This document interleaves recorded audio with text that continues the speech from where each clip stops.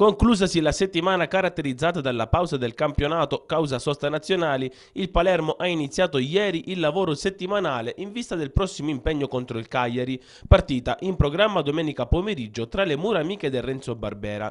Per il rosanero al tenente onorato di Bocca di Falco, dopo gli esercizi di attivazione muscolare, un riscaldamento tecnico seguito poi dal lavoro a secco e partitelle a tema a campo ridotto. La seduta è stata poi conclusa da una partita. Andrea Rispoli ha lavorato in parte con i compagni, proseguendo poi con un lavoro differenziato, fisioterapie invece per Slobodan Rajkovic.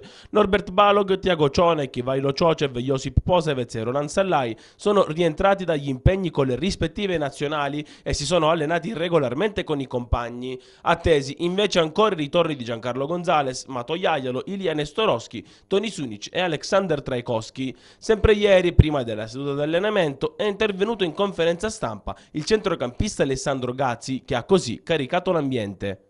Spezzo no, dobbiamo... il nostro obiettivo in questo momento non è eh, domenica, ma, eh, domenica col Cagliari, ma lavorare bene giorno per giorno, da oggi fino a domenica.